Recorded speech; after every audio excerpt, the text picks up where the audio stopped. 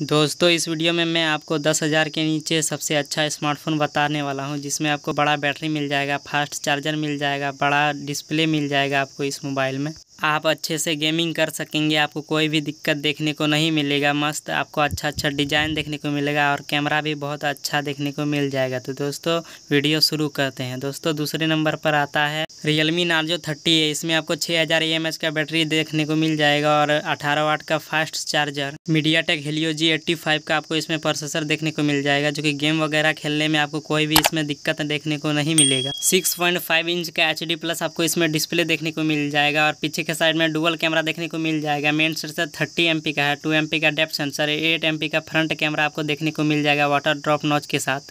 Back panel में आपको fingerprint sensor देखने को मिल जाएगा। रिवर्स चार्जर का भी ऑप्शन है। दोस्तों, इसका प्राइस है आठ हज़ार नौ सौ निन्यानवे, यानी कि एक हज़ार कम। और दोस्तों, पहले नंबर पर आता है मैक्रोमैक्स की तरफ़ से मैक्रोमैक्स इन वन दोस्तों मैक्रोमैक्स इन वन में आपको स्टॉक एंड्रॉयड मिल जाता है, यानी कि इसमें आपको कोई भी ऐड देखने को नहीं मिलेगा। इसमें आपको six point six seven inch का F H D plus display देखने को मिल जाता है।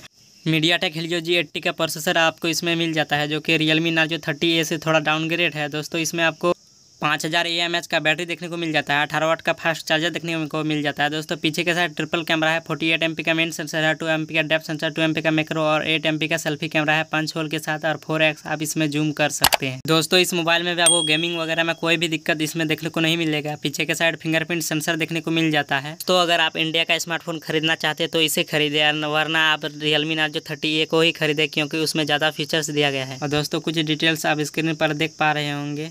दोस्तों, इसमें आपको गेमिंग वगैरह में भी कोई दिक्कत नहीं होगा। दोस्तों लिंक मैंने डिस्क्रिप्शन में दिया है, दोनों स्मार्टफोनों का। अगर आपको वीडियो अच्छा लगा तो प्लीज़ सब्सक्राइब कर दीजिएगा।